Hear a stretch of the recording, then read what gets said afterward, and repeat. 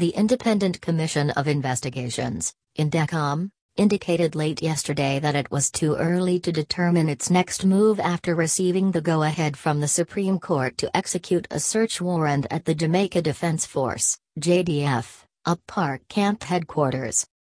It was one of 14 orders handed down yesterday by the full court comprising Justices Courtney Daye, Sharon George, and Carol Lawrence Beswick.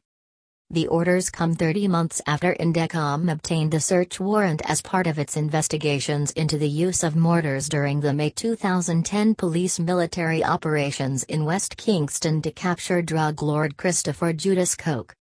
Indecom boss Terrence Williams also indicated that it was too early to determine how the more than two year wait to resolve the legal challenge has impacted the investigation, but made it clear the probe will continue.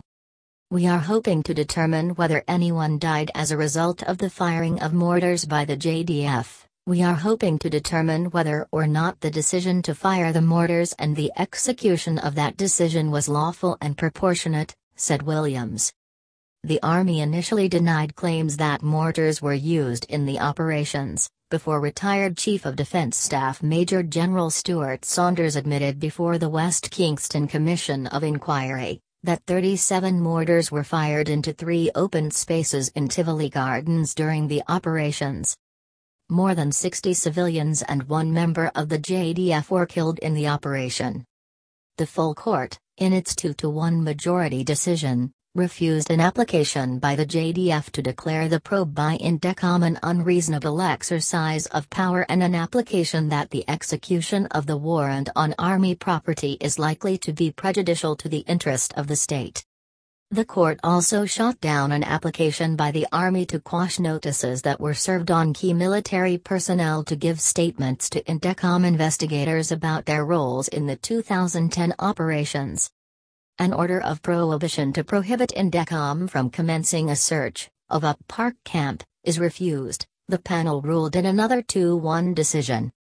Lawrence Beswick was the dissenting voice in both decisions. The sole victory for the JDF was the unanimous decision to block Indecom from gaining access to the operational orders that guided the West Kingston incursion. A declaration that information relating only to the operational orders requested in the Indecom warrant set out in the Certificate of the Minister of National Security dated January 13, 2016, is protected by public interest immunity is granted unanimously, the judges ruled. The court also refused the JDF's application for a declaration that its members are restricted from providing evidence on oath that reveals information in breach of the Official Secrets Act. Thanks for watching, please remember to subscribe to see new videos.